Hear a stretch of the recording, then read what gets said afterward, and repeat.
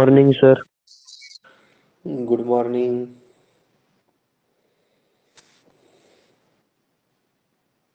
good morning sir good morning good morning सुरू करूया.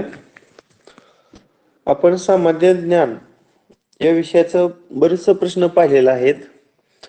आज आपण राहिलेला प्रश्न संपवून उद्यापासून प्रत्यक्ष आपल्या एनएस आणि शिष्यवृत्ती या परीक्षेचं बुद्धिमत्ता विषयाच्या अध्यापनाला सुरुवात करणार आहोत. आजचा आपला या सामान्य ज्ञान विज्ञान विषयाच्या उजळणीचा शेवटचा दिवस असेल. प्रश्न क्रमांक एकशे अठ्ठावीस पहा. आता या ठिकाणी तुम्हाला सर्व छोटी छोटी एकक माहीत आहेत परंतु त्याच्यापेक्षा जी छोटी आहेत ती मात्र माहीत नाहीत. म्हणजे तुम्हाला कुठपर्यंत माहीत आहे? अगदी मिलीमीटर पर्यंत माहीत आहे का नाही? मिलीमीटर नंतर सेंटीमीटर माहीत आहे. त्यानंतर डेसिमीटर माहीत आहे. त्यानंतर मीटर माहीत आहे. त्यानंतर डेकामीटर माहीत आहे. त्यानंतर हेक्टोमीटर सुद्धा माहीत आहे. त्यानंतर किलोमीटर माहीत आहे. आता या किलोमीटरपेक्षा सुद्धा मोठी असतात. आणि या मिलीमीटर सुद्धा मिलीमीटरपेक्षा सुद्धा काही छोटे असतात. आता ती एक आपल्याला पाहिजे आहेत समजा किलोमीटरपेक्षा मोठ्या एखाद्या एकक सांगू शकता का तुम्ही? लांबी किंवा अंतर मोजण्याचं. या किलोमीटरपेक्षा मोठं एखादं एकक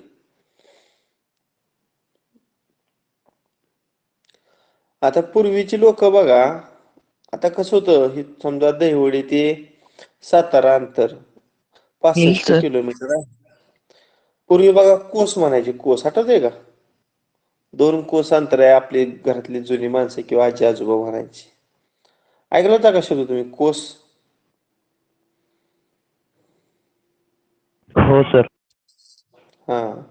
आणि या मिलीमीटरपेक्षा छोटी काही एकक आहेत त्याचा सुद्धा आपल्याला स्टडी पाहिजे.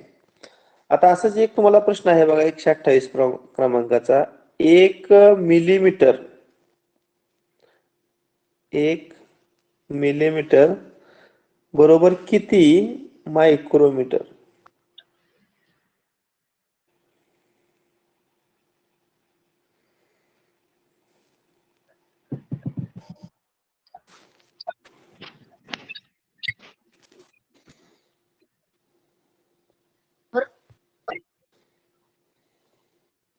हजार. बरोबर. कोणी दिलं उत्तर रे? सायरस मंडोकटे ओके छान. एक हजार म्हणजेच आपण ते दहाचा घातांक किती लिहू शकतो रे या स्वरूपामध्ये? घन. तीन. म्हणजे एक मिलीमीटर म्हणजे एक हजार मायक्रोमीटर. बघा किती छोट एकक आहे. आपली पट्टी पंधरा सेमीची असते कंपास मधील त्या पंधरा सेमीतला एक सेमी घ्यायचा. ते एक सेमीचं पुन्हा छोटं छोटं दहा भाग असतात. त्यातला एक भाग म्हणजे एक मिलीमीटर आणि ते एका मिलीमीटरचं एक हजार भाग. त्यातला एक हजारावा भाग आहे तो मायक्रोमीटर अतिशय सूक्ष्म असं हे एकक आहे. काय लक्षात ठेवलं तुम्ही? एक मिलीमीटर म्हणजे एक हजार मायक्रोमीटर नेक्स्ट क्वेश्चन पेशीचे ऊर्जा केंद्र. पेशीचे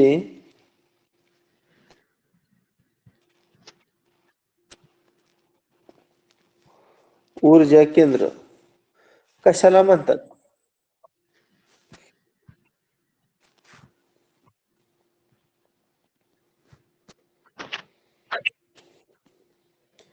पेशीचे ऊर्जा केंद्र कशाला म्हणतात?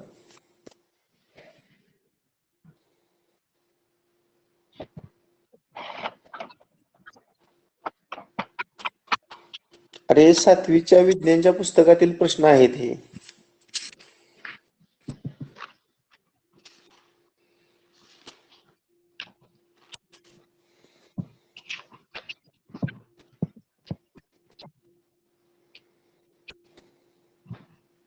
नाहीत कुणालाच. बघा याचं उत्तर आहे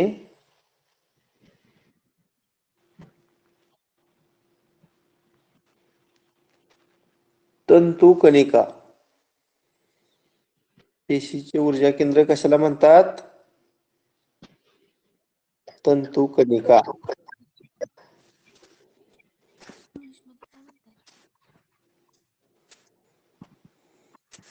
ओके. प्रश्न क्रमांक एकशे तीस पोलिओच्या विषाणूचा आकार. पोलिओ. च्या विषाणूचा आकार. विषाणूला आपण व्हायरस म्हणतो. आकार. किती नॅनोमीटर बघा आता इथं जर एकक नॅनोमीटर दिले. नॅनोमीटर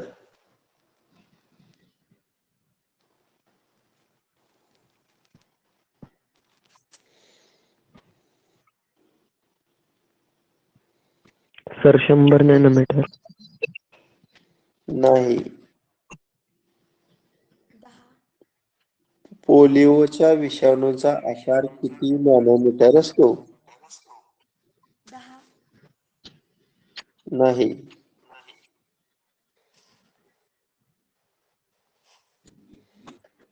एक.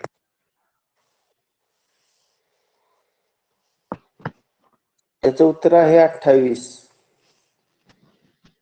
पोलिओच्या विषाणूचा आकार अठ्ठावीस नॅनोमीटर एवढा असतो. आता तुमच्या एकंदरीत लक्षात आलेलं असेल मायक्रोमीटर नॅनोमीटर ही अतिशय सूक्ष्म अशी एकक आहेत.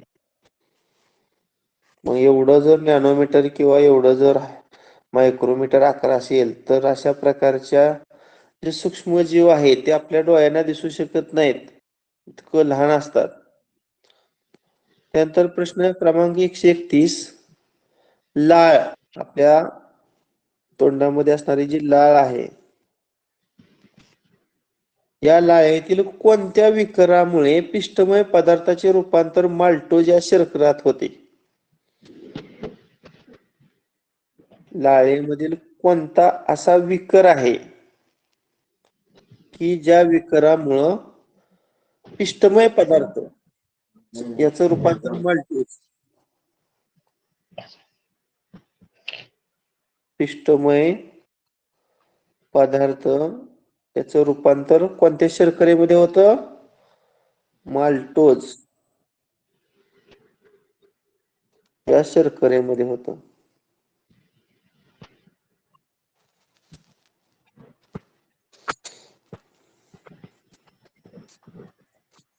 लाळेमधील कोणत्या विकारामुळे पिष्टमय पदार्थाचे रूपांतर माल्टोज या शर्करामध्ये होते?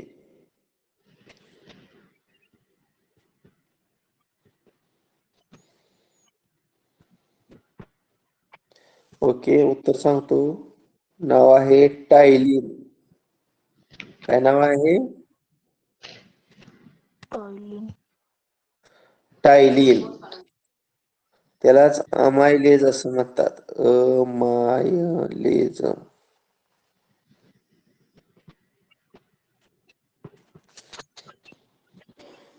लाळेमधील टायलिन म्हणजेच अमायलेज. या विकारामुळं पिष्टमय पदार्थाचं रूपांतर माल्टोज या शर्करेमध्ये होत.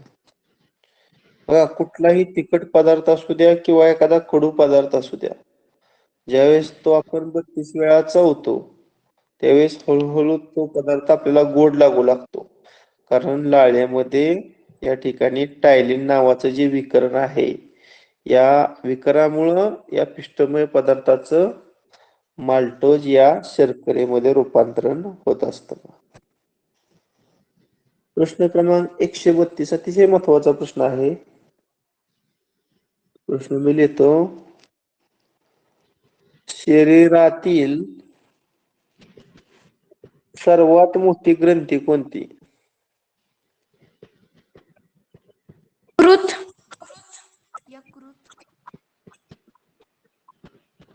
यकृताला इंग्रजीत काय माहिती रे? लिव्हर. सल्फर बरोबर.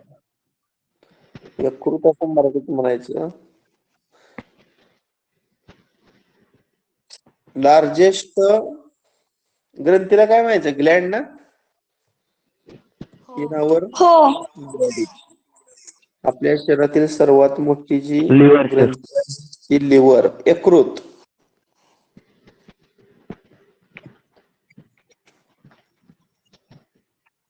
ओके आता तुम्हाला काही मी संज्ञा विचारणार आहे. आता याच्यामध्ये तुम्हाला नेहमीप्रमाणे hydrogen helium lithium beryllium boron carbon nitrogen sodium magnesium aluminium silicon phosphorus. Chlorine argon potassium calcium कमीत कमी पहिली ही दहा अनुक्रमांकानुसारचे मूलद्रव्य पाठ असतील. आता हे पाठ करण्यासाठी मी जी क्लुप्ती तयार केलेली होती जुन्या ग्रुप मधील काही मुलांना मी सांगितली होती.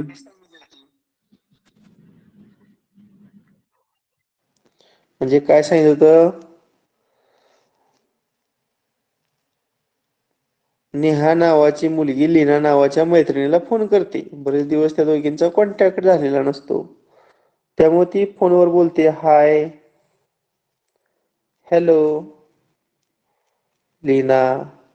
आता मैत्रिणी मैत्रिणी किंवा मित्र मित्र असताना अं, थोडा काही शब्द वापरतात. त्यांना राग येत नाही. त्यातला एक शब्द वापरला तिनं थोडा बेशरम बावळट. कार्टी किती दिवस झाला फोन केला नाही. आहे की नाही? असं आपण बोलतो नाही सहज बोलता बोलता. नालायक ओ तुझीच friend Neha. Hi hello Leena. बेशरम बावळट कार्टी नालायक ओ तुझीच फ्रेंड नेहा.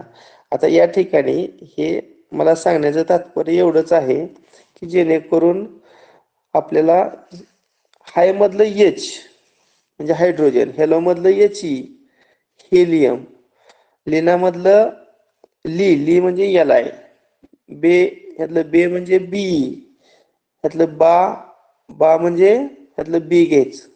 आता क ला कधी कधी सी पण वापरतात बघा. ना नातलं न घ्यायचं यन ओ ओतलं ओच घ्यायचं. फ्रेंड मधलं यप घ्यायचं. आणि नेहा नेहा मधलं एन ए घ्यायचं. अशा पद्धतीनं तुम्हाला एक दोन तीन चार पाच सहा सात आठ नऊ दहा. एक ते दहा अनुक्रमांकाची क्रमानुसार मूलद्रव्य पाठ करता येतील. आता पुन्हा एकदा मी मूलद्रव्य तुम्हाला सांगतो. Hydrogen helium lithium beryllium boron carbon nitrogen oxygen fluorine आणि निऑन असे मूलद्रव्य आता याच्या पुढचं लक्षात ठेवण्यासाठी पण मी एक छोटीशी क्लुप्ती किंवा एक वाक्य तयार करतो. नाम्या मागे. नाम्या नावाचा एक कुत्रा आहे. तो मागे लागलेला आहे. नाम्या मागे आल्यामुळे एका व्यक्तीचं पूर्ण नाव आहे सीताराम. पी म्हणजे पांडुरंग यस म्हणजे सपकाळ आडनाव आहे सरनेम आहे. क्लेशाने आरडली ओरडले ओरडली काय पण म्हणा. कॅ कॅ नाम्या मागे आल्यामुळे सीताराम पांडुरंग सपकाळ क्लेशानं आरडले कॅ कॅ आता नाम्या ना ना म्हणजे येणे मागेतलं इथलं मच यम घ्यायचं आणि गच जी घ्यायचं. आल्यामुळे ए ल यल. सी तारामधलं यस आहे. पांडुरंगमधलं प पी. सपकाळमधलं यस. क्लेशानं सी एल आरडले आर ए आर. क्या म्हणजे के पण घेऊ शकतो आणि क्याला सी ए पण घेऊ शकतो. अशा पद्धतीने आपण sodium magnesium aluminium silicon phosphorus sulphur chlorine argon potassium calcium अकरा ते वीस या क्रमांकाची आपण मूलद्रव्य या पद्धतीनं लक्षात ठेवू शकतो. आता असे वाटतं एकशे अठरा का काय मूलद्रव्य आहेत? किती आहेत रे मूलद्रव्य एकूण? सर एकशे आहेत. हा याच्यामध्ये काही धातू आहेत काही अधातू आहेत काही धातू सदृश मूलद्रव्य आहेत. काही काही सॉलिड स्टेटमध्ये आहेत काही लिक्विड स्टेटमध्ये आहेत काही गॅसियस स्टेटमध्ये आहेत. त्या अनेक अवस्था आहेत त्या मूलद्रव्यांच्या. आणि तुम्हाला मूलद्रव्य म्हणजे काय संयोग म्हणजे काय मिश्रण म्हणजे काय हा सुद्धा भाग झाला असेल किंवा होईल. आता याच्यातील काही संज्ञा लक्षात न राहणाऱ्या आपण बघूया. आता बरेच जणांना आपण सोने आता सोने म्हणलं की यसू अशी संज्ञा असते का रे? नसते. त्याला एक विशिष्ट असं नाव आहे. कोण सांगते सोन्याची संज्ञा? A U. बरोबर. व्हेरी गुड आणि त्यानंतर दुसरी चांदीची संज्ञा कोण सांगेल? ए जी अगदी बरोबर. एजी. म्हणजे ज्या लक्षात राहत नाही तेवढा मी विचारते बरं का. आता मग अशी पोटॅशियमची संज्ञा आपण पाहिली होती के आता टंगस्टन म्हणून एक धातू टंगस्टन. कोण सांगते याची?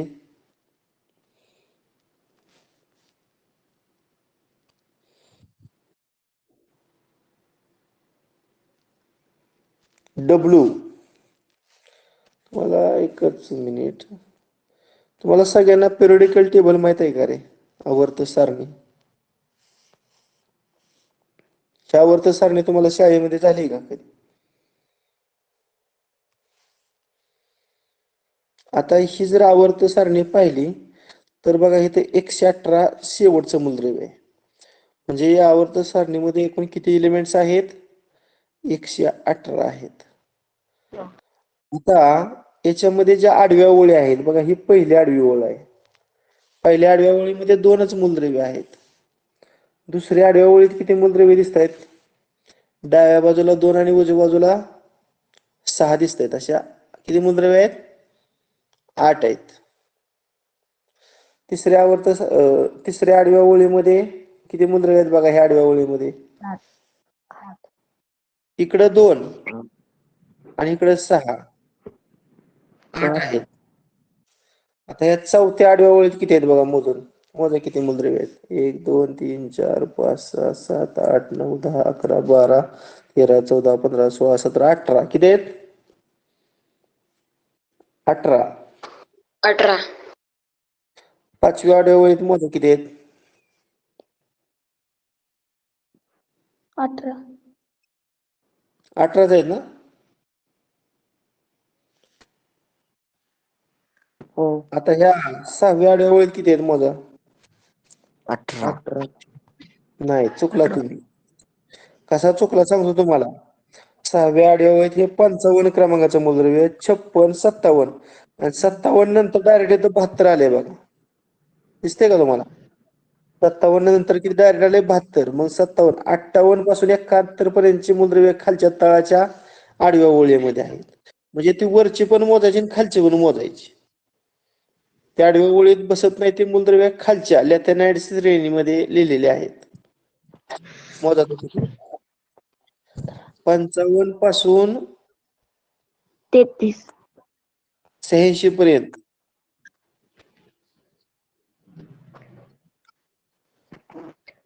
तेहतीस का बत्तीस बघा. तेहतीस. बत्तीस.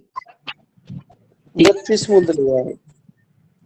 आणि सातव्या आडव्या ओळीमध्ये सुद्धा बघा सत्याऐंशी अठ्ठ्याऐंशी एकोणनव्वद आणि नव्वद ते एकशे तीन क्रमांकाची मूलद्रव्य सगळ्यात खालच्या ऍक्टिनाइड श्रेणीमध्ये आहेत. आणि एकशे चारपासून पुढे हित आहेत. म्हणजे हिथं सुद्धा मला वाटते बत्तीस मूलद्रव्य आहेत. मग या ज्या आडव्या ओळी आहेत ह्यांना या आवर्त सारणीमध्ये काय म्हटलं जातं माहिती आहे का तुम्हाला?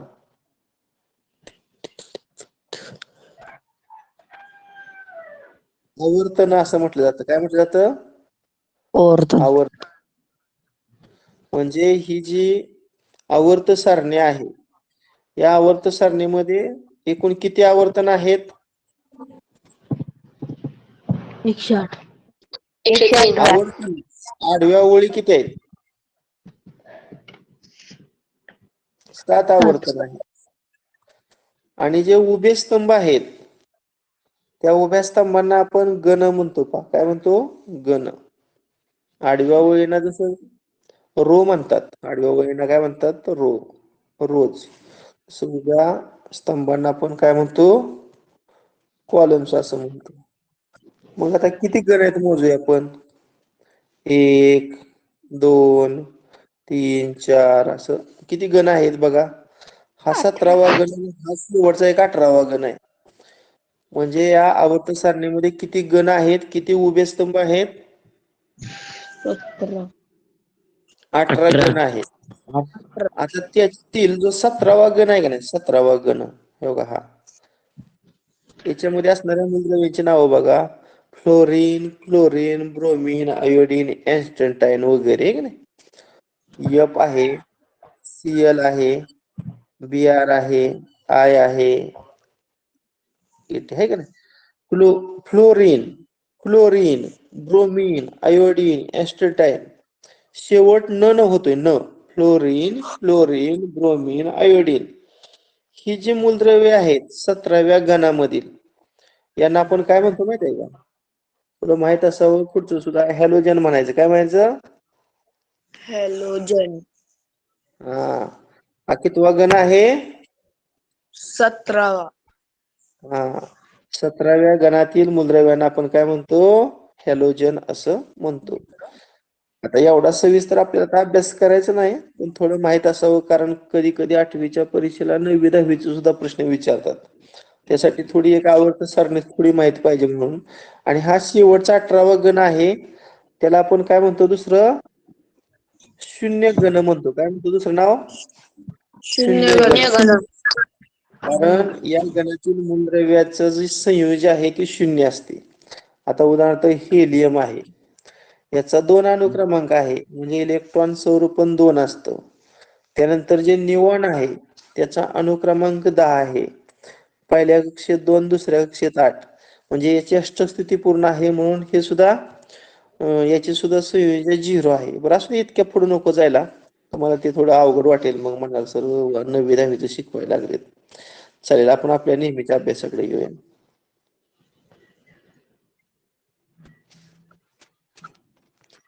ओके.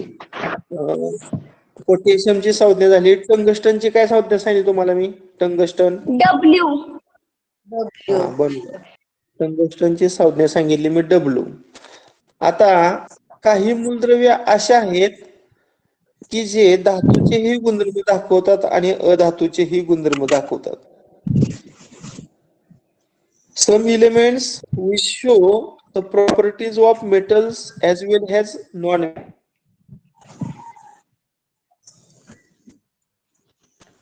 धातू सदृश मूलद्रव्य म्हणायचं काय म्हणजे अशा मूलद्रव्यांना? धातू सदृश. सदृश मूलद्रव्य. सांगता एखादं धातू सदृश मूलद्रव्य तुम्ही? क्लोरीन हा? Fluorine नाही ना. क्लोरीन मला ही झाले का बघा अर्सेनिक झाले का कधी शब्द ऐकलाय का अर्सेनिक काही सिलिकॉन अगदी बरोबर. आर्सेनिक नंतर सिलिकॉन सेलिनियम बरोबर. पुढचं आहे सेलेनियम अजून आहेत. या ठिकाणी तीन घेऊया जे मूलद्रव्य धातू आणि अधातू. या दोहोंचेही गुणधर्म दर्शवतात. त्यांना सदृश्य मूलद्रव्य असं म्हणतो. आता त्यानंतर खाण्याचा जो सोडा आहे खाण्याचा सोडा. या सूर्यनं सूत्र कोण सांगेल मला? खाण्याचा सोडा आपल्या घरामध्ये. यसो तुमची आई भजी वगैरे तयार करताना त्या बेसन पिठामध्ये थोडा खाण्याचा सोडा टाकते. यसो आणि त्या सोड्याचं रासायनिक नाव आहे सोडियम बायकार्बोनेट. काय म्हणायचं याचं? Sodium bicarbonate. Sodium bicarbonate. मग रेणुसूत्र कोण सांगते? एस ओ नाही. सोडियमला येणे. बाय म्हणलं की हायड्रोजनची संज्ञा टाकायची. आणि कार्बोनेट म्हणलं की CO three. N A H CO three. आलं लक्षात? हो. आणि इथं जर खाण्याच्या सोड्याचं जागा तुम्हाला कपडे धुण्याच्या साठी वापरलेला जर धुण्याच्या सोड्याचं रेणूसूत्र विचारलं तर हे बाय खोडायचं आणि इथलं एच खोडायचं आणि इथलं एन ए टू टाकायचं. म्हणजे धुण्याचा सोडा याचं रासायनिक नाव आहे सोडियम कार्बोनेट आणि याचं रेणूसूत्र आहे N A two CO three N A two CO three बघा खाण्याचा सोडा आणि धुण्याचा सोडा. अगदी साधं जे मीठ आहे त्या मिठाचं रासायनिक नाव काय रे? आयोडीन. आयोडीन. दुसरं?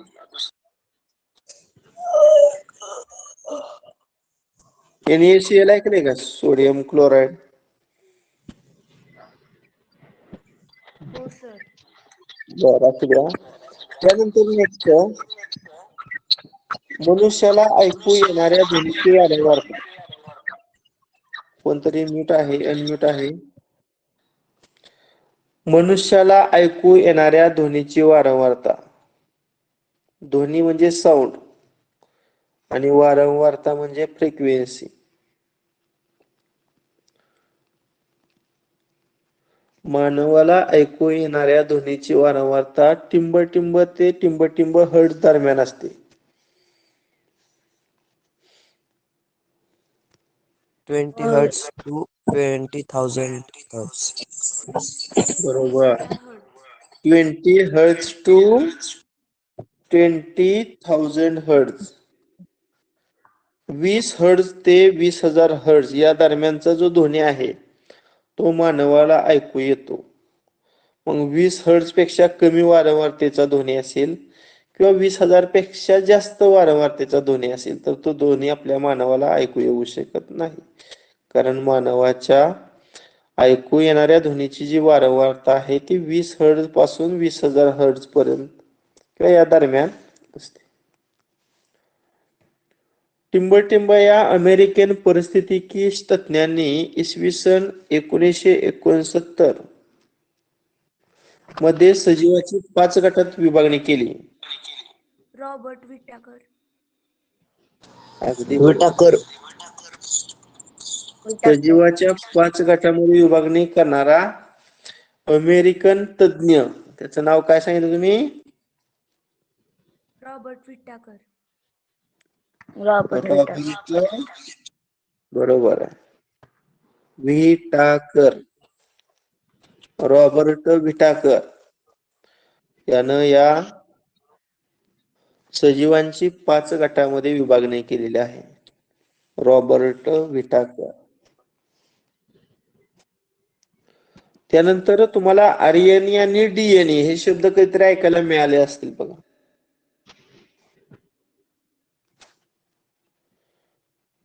मग त्यातला आरएनएचा लॉंग फॉर्म काय रे? रायबोन्यूक्लिक आम्ल. बरोबर. R for ribo N for nucleic आणि ए फॉर ऍसिड किंवा आम्ल. रायबो न्यूक्लिक ऍसिड याला पॅरल दुसरा प्रश्न आहे. डीएनए च काय असणार? डिऑक्सिरायबोन्यूक्लिक आम्ल. बरोबर. डिऑक्सी किंवा डायऑक्सी काय जण म्हणतात? डिऑक्सी रायबो न्यूक्लिक ऍसिड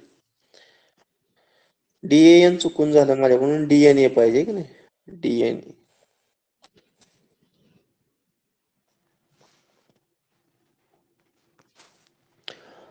त्यानंतर डब्ल्यू एच ओ हा एक शब्द तुम्हाला झाला असेल बघा डब्ल्यू एच ओ कोण सांगते याचा लॉंग फॉर्म काही जण म्हणणार हॉट वेअर होम हू इंग्रजीमध्ये असतात का नाही? प्रश्नार्थक वाक्य तयार करण्यासाठी हे शब्द वापरतात. त्यातला हा हू नव्हे. विज्ञानामध्ये. वर्ल्ड हेल्थ ऑर्गॅनिझम बरोबर. Word W for word H for health आणि ओ फॉर ऑर्गॅनायझेशन मराठी काय माहिती रे? जागतिक आरोग्य संघटना. काय माहिती मराठीमध्ये? जागतिक आरोग्य संघटना world health organisation. Next question. तुम्हाला एक आजार हा माहीत आहे का? एड्स.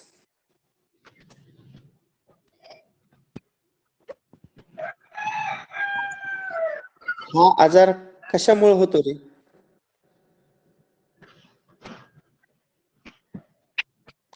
आता या रोगाचं प्रमाण कमी झालेलं आहे परंतु पूर्वी फार भयानक आणि डेंजरस असा हा आजार होता पहा. असुरक्षित लैंगिक संबंधामुळे अशा प्रकारचा आजार निर्माण होत होता. आता याचा लॉंग फॉर्म आहे माहिती आहे कुणाला? A for acquired. I for immuno. D for deficiency. And S for syndrome. acquired immunodeficiency syndrome AIDS मानवाची रोग प्रतिकार क्षमता कमी करणारा हा आजार होता. मानवाची रोग प्रतिकार क्षमता कमी करणारा हा आजार होता. आणि मग हा जो आजार आहे एड्स नावाचा तो कोणत्या विषाणूमुळे होत होता रे? हे विषाणूचं नाव काय?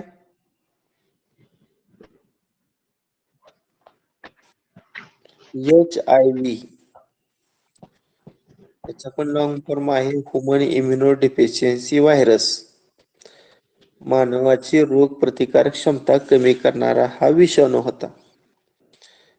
परीक्षेला प्रश्न येतो एड्स हा आजार कोणत्या विषाणूमुळे होतो? तर तुम्हाला एच आय व्ही हा शब्द त्या ठिकाणी आठवला पाहिजे. त्यानंतर दुसरा एक आहे स्वाईन फ्लू. हा मागच्या काही वर्षामध्ये आजार आलेला होता स्वाईन फ्लू.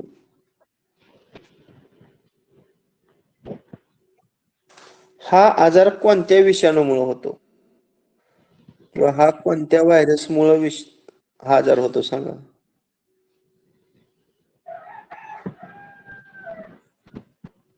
स्वाईन फ्लू हा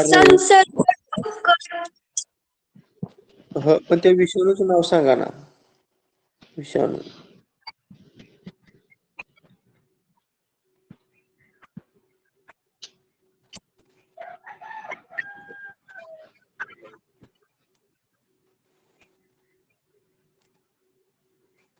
एच वन एन वन नाही ऐकले का H one N one influenza A हो इन्फ्लुएन्झा ए या विषाणूमुळे हा स्वाईन फ्लू हा आजार होतो पहा. Influenza A H one N one next हिवतापाचा प्रसार कोणत्या डासाच्या मादीमुळे होतो पहा? हिवताप. इंग्रजी मला काय माहिती? हिवतापाला इंग्रजी एडियस इजिप्टी एड्स इजिप्ती आता हा डास चावल्यामुळे होतो? मग त्या डासाची काय असते? मादी असते. त्या त्या डासाच्या मादीमुळं ठेवताप. या रोगाचा. मगाशी कोणीतरी सांगितलं बाबा Anopheles. हा फिलिस बरोबर काय म्हणायचं एनाफिलिस आणि प्रश्न प्रश्नमंजुषा स्पर्धा ना तुमच्याकडे जर सायन्स क्विज स्पर्धा होत असतील शाळेमध्ये तर हा प्रश्न बहुतांशी शिक्षक विचारतात. यांना या भाषेच्या माध्यमामुळे हिवतापाचा प्रसार होतो. आता तुम्हाला सगळ्यांना दाब ही राशी माहीत आहे. त्याला आपण इंग्रजीत काय म्हणतो? प्रेशर. आता या दाबाचं एकक मला पाहिजे. कोण सांगतो? युनिट. प्रेशरचं युनिट.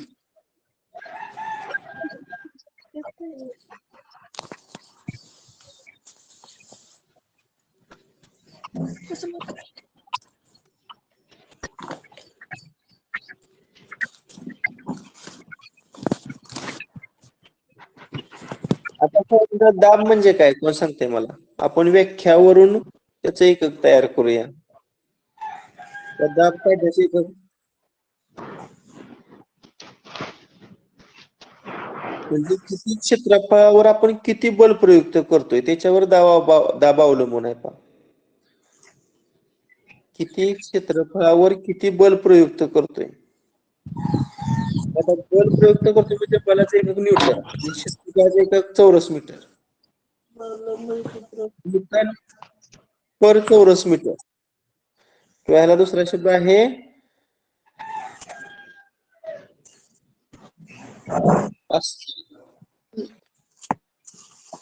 किंवा कधी कधी बार हा शब्द सुद्धा वापरतात.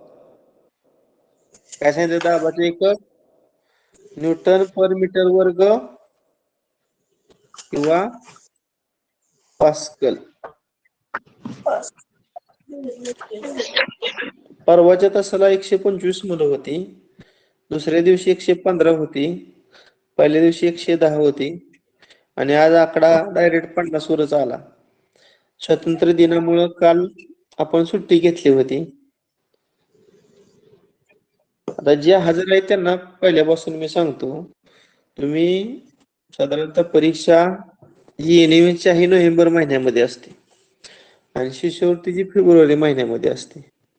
परंतु मागच्या तीन वर्षामध्ये कोरोनामुळं टाइम टेबल सगळं बदललं. अगदी पुढल्या वर्षी ऑगस्ट जुलै महिन्यामध्ये परीक्षा झाल्या.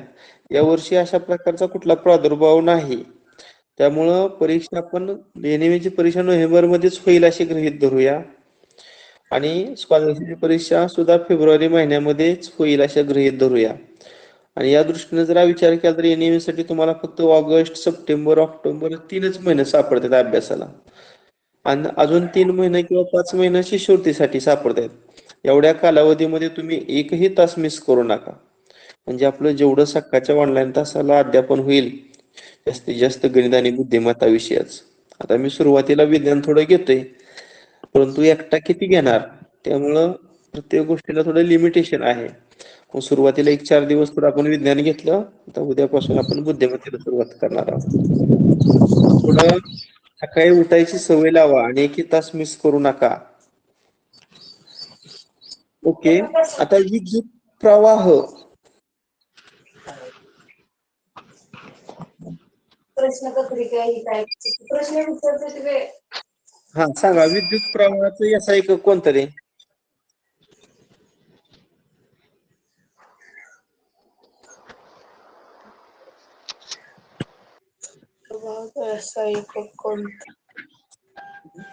आता इंग्रजीत त्याला मला वाटतं करंट म्हणतात करंट इलेक्ट्रिक करंट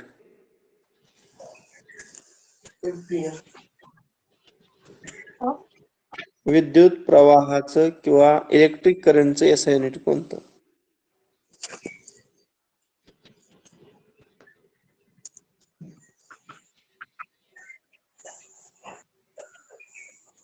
नाहीत कुठला. बघा एमपीएल असं एक काय काय आहे? एम्पियर कुलम पर सेकंद असं सुद्धा म्हणतात. विद्युत प्रवाहाचे असं एकक एम्पियर किंवा कुलोम पर सेकंद असं सुद्धा म्हटलं जात. आता याच्यामध्ये पुन्हा युगांतर पण आहे बघा एक तुम्हाला. विभवांतराचे असं एकक माहिती आहे कोणाला? विभवांतर. प्रश्न कशाचा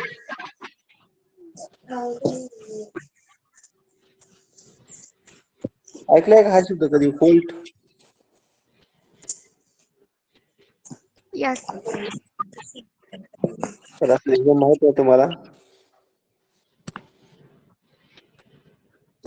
अमोनिया. याचं रेणूसूत्र मला सांगा. अमोनिया.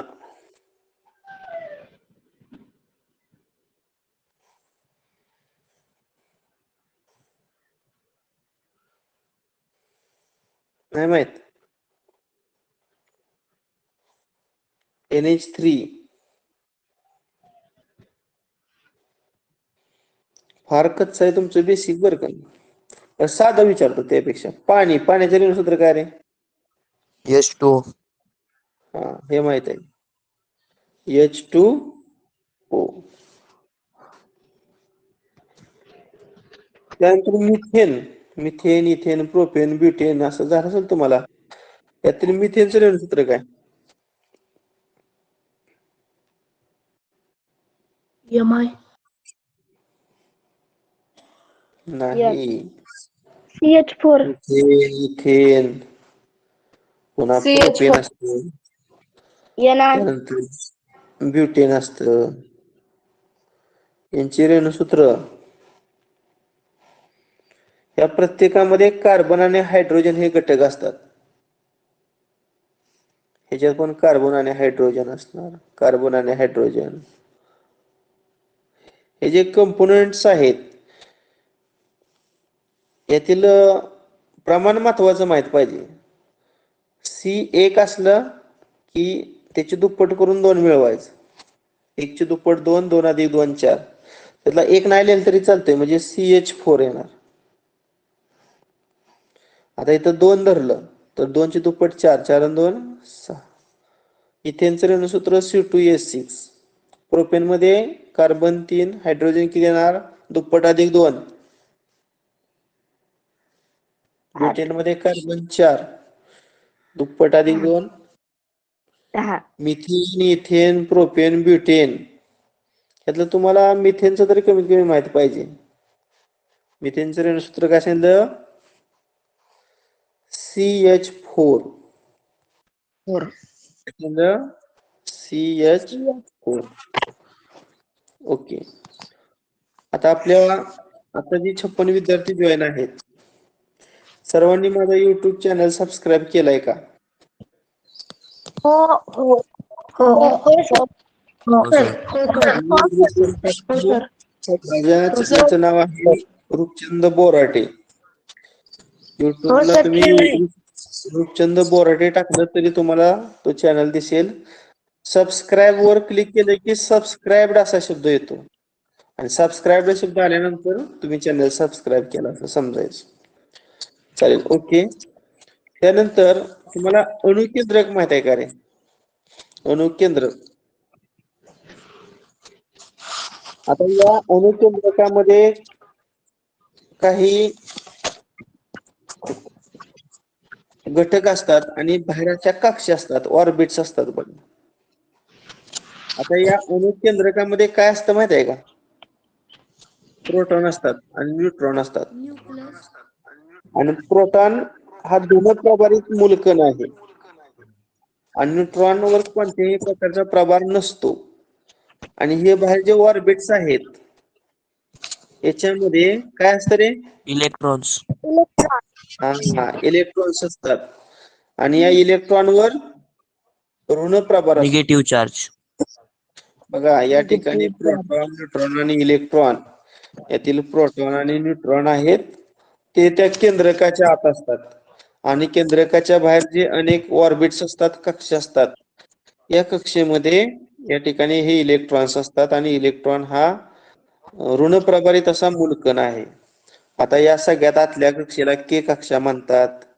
त्या बाहेरच्या कक्षेला यल त्या बाहेरच्याला यम त्याच्या बाहेरच्याला यन आता दोन एन वर्ग या सूत्रानुसार आपण प्रत्येक कक्षेतील इलेक्ट्रॉनची अधिकतम संख्या काढू शकतो. म्हणजे एन म्हणजे कक्षा क्रमांक. एकचा वर्ग एक गुणिले दोन दोन. त्यानंतर दोनचा वर्ग चार दोन्ही आठ. तीनचा वर्ग नऊ नऊ दोन्ही अठरा. त्यानंतर चारचा वर्ग चार एक सोळा अठरा झालं. पाचचा वर्ग पंचवीस. किती येणार?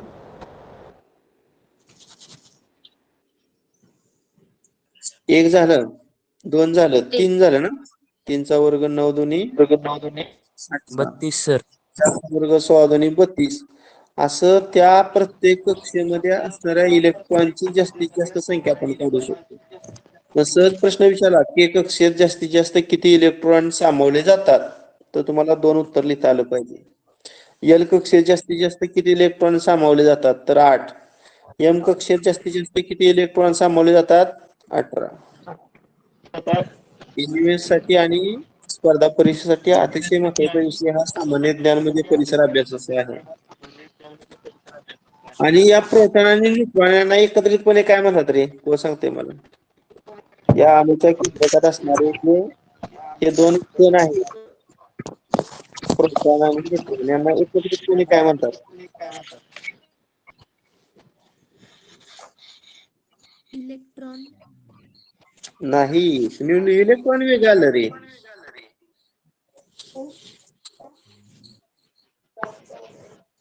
काय म्हणायचं?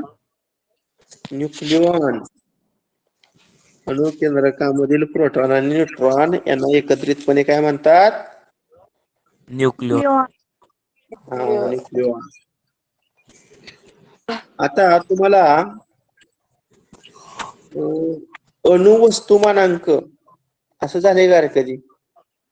झेड प्लस एन हे सूत्र झालंय कधी? ए म्हणजे ऍटोमिक मास नंबर झेड म्हणजे atomic number N means number of neutron A म्हणजे काय? ऍटोमिक मास नंबर झेड म्हणजे ऍटोमिक नंबर आणि एन म्हणजे नंबर ऑफ न्यूट्रॉन्स अणुवस्तुमानांक बरोबर अणु अंक अधिक न्यूट्रॉनची संख्या. मग अणुवस्तुमानांक कोणत्या संज्ञेनं दर्शवतात सांगा आता. लिहून दिले तुम्हाला. अणुवस्तुमानांक कोणत्या संज्ञेनं दर्शवतात? ए. आणि अणुअंक कोणत्या संज्ञेनं दर्शवतात झेड. ह्या दोन पैकी एखादा प्रश्न परीक्षेला येऊ शकतो. आता कवचाची जी इलेक्ट्रॉन धारकता आहे कवच म्हणजे आपण त्याला ऑर्बिट म्हणलं होतं बघा कक्षा म्हटलं होतं. कवचामधील इलेक्ट्रॉन धारकता कोणत्या सूत्राने काढतात? बघा सूत्र लिहून दिलं तुम्ही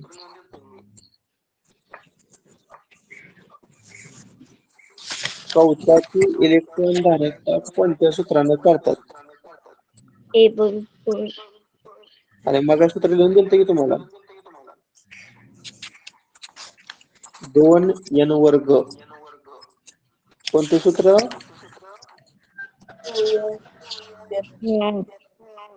दोन एन वर्ग. आता अजून एक आहे. क्लोरीन. याच इलेक्ट्रॉन स्वरूप पण विचारलेलं आहे.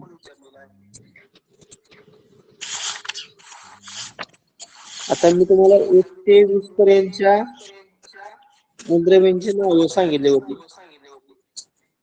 त्यातील क्लोरीनचा अनुक्रमांक किती होता रे? क्लोरीनची संज्ञा CL sodium magnesium aluminium silicon phosphorus sulphur chlorine argon potassium मला वाटते सतरा असेल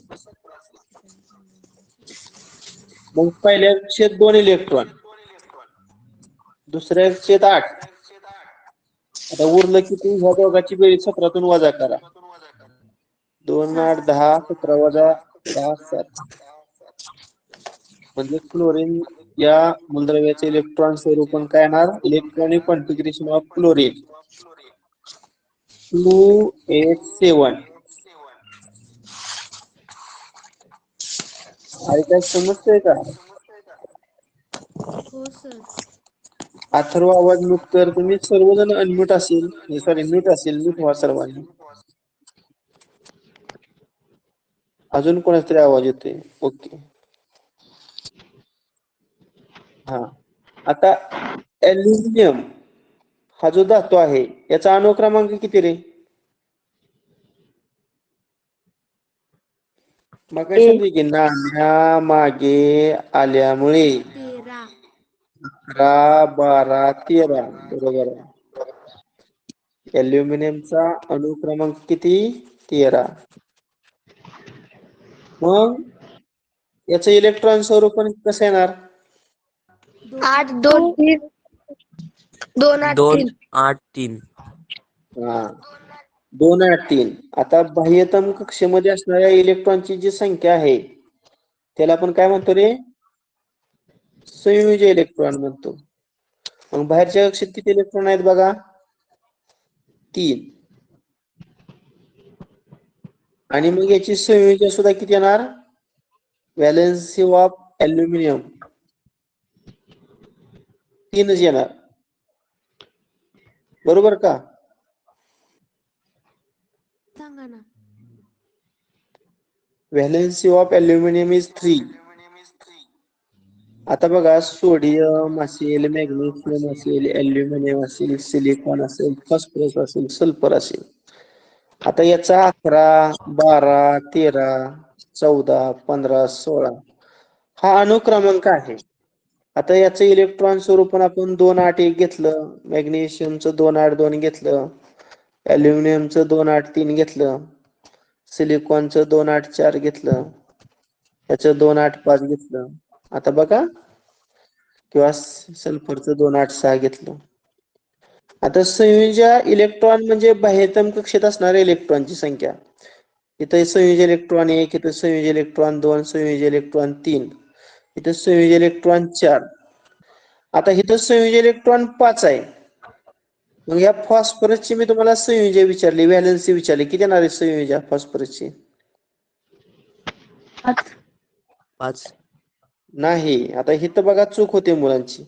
आता अष्टक स्थिती पूर्ण करण्यासाठी घेतल्या जाणाऱ्या अथवा दिल्या जाणाऱ्या इलेक्ट्रॉनची कमीत कमी संख्या. तो तीन इलेक्ट्रॉन घेणार आणि अष्टक स्थिती पूर्ण करणार. आता तो पाच इलेक्ट्रॉन देत नाही तर तीन इलेक्ट्रॉन घेतो. म्हणजे ह्या पाचामध्ये त्याने तीन मिळवलं की तिसऱ्या बाह्यतम कक्षेत आठ इलेक्ट्रॉन झालं त्याचं ऑक्टेट कंप्लीट झालं. म्हणजे याची संयोजन येणार तीन. म्हणजे बाह्यतम कक्षेत असणारे इलेक्ट्रॉन म्हणजे संयोजन नव्हे. तर अष्टक स्थिती पूर्ण होण्यासाठी तो पाच इलेक्ट्रॉन देण्यापेक्षा तीन इलेक्ट्रॉन घेतो. मग पाच आणि तीन मध्ये तीन लहान आहे. जी लहान संख्या आहे ती संयोजी असते पहा. हा भाग सविस्तर नंतर तुम्हाला आहे आठवी नववी मध्ये. बरं आता हायड्रोजनची तीन समस्थानिके मला सांगू शकताय का आयसोटोप्स समस्थानिकेंना आपण आयसोटोप्स म्हणतो. कोण सांगते आयसोटोप्स म्हणजे अणुअंक सारखा असतो आणि अणुस्तमानांक भिन्न असतो. त्यांना आपण समस्थानिक असं म्हणतो आयसोटोप्स म्हणतो. Atomic number same but but mass number different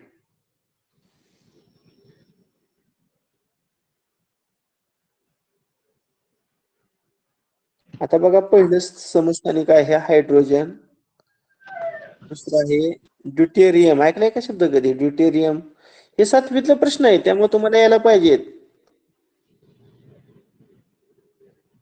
त्यानंतर ट्रिटियम हायड्रोजन ड्युटेरियम ट्रिटियम. अरे झाले का कधी हे? हायड्रोजनची समस्थानिके.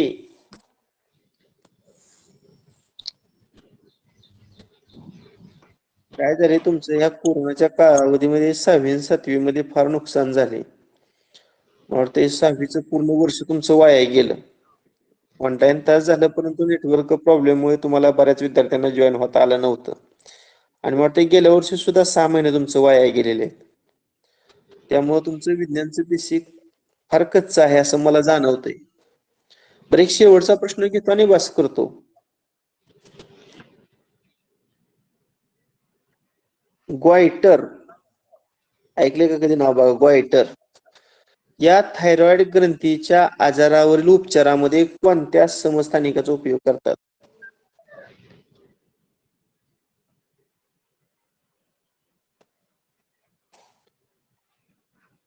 ग्वायटर या थायरॉइड ग्रंथीच्या आजारावरील उपचारामध्ये कोणत्या समस्थानिकांचा आयसोटोपचा उपयोग करतात? आय म्हणजे आयोडीन आणि एकशे एकतीस. ऐकलंय का आयोडीन एकशे एकतीस नावाचं आयसोटोप? या समस्थानिकाच्या सहाय्यानं ग्वायटर ही जी थायरॉइड ग्रंथीवरचा आजार आहे याच्या उपचारामध्ये या आयसोटोपचा उपयोग केला जातो. साधारणतः मूलद्रव्याची संज्ञा आपण एक्स मांडली तर या ठिकाणी एन या ठिकाणी झेड अणुअंक आणि ए म्हणजे अणुवस्तुमानांक असू द्या. जास्तीत जास्त तुम्ही विज्ञानचा अभ्यास करा. आता कसं आहे मी एकटा तीन महिन्यामध्ये किंवा चार महिन्यामध्ये अगदी एन ला मग सायन्स विषय महत्त्वाचा आहे. पस्तीस प्रश्न आपल्याला नव्वद मधलं सायन्समध्ये येत आहेत. मधून अधून सायन्स सुद्धा एक दोन असे लेक्चर मी घेईन. इतिहास भूगोल नागरिकशास्त्र पस्तीस प्रश्न आहेत. वीस प्रश्न गणितचा आहेत. नव्वद मार्काला तुम्हाला एनएमएस आहे. आणि पहिला पेपर तर पूर्ण नव्वद प्रश्न बुद्धिमत्तेचा आहेत. त्यामुळे बुद्धिमत्ता आणि गणितचं आपलं पूर्ण मार्गदर्शन होईल विज्ञानचं कधी कधी होईल. शिष्यवृत्तीला भाषा आणि मराठी आणि इंग्रजी विषय आहेत. याचा सुद्धा चांगला अभ्यास करा. आणि एकही तास मिस करू नका. कारण सव्वाशे विद्यार्थी संख्या असणाऱ्या आज छप्पन वर आहे. याचा अर्थ बरेचसे विद्यार्थी आळशी आहेत. मी ग्रुपमध्ये जॉईन करून घेताना बऱ्याच विद्यार्थ्यांची इंटरव्ह्यू घेतली होती. तीन तीन प्रश्न विचारलेलं होतं. बुद्धिमत्ताचा एक गणितचा एक आणि सामान्य विज्ञानचा एक. काही विद्यार्थ्यांना एकही प्रश्नाचं उत्तर देता आलं नाही. तरी मी त्या विद्यार्थ्यांना जॉईन करून घेतले कारण दो कोरोनाच्या दोन वर्षाच्या कालावधीमध्ये मुलांचं नुकसान झालेलं आहे. त्यामुळे त्या विद्यार्थ्यांना काहीतरी यावं ही अपेक्षा आहे. तुम्हाला जॉईन करून घेतलंय. या अर्थी तुम्ही प्रत्येक तास जॉईन करा. चालेल बस करूया. Okay. Bye bye sir bye bye bye sir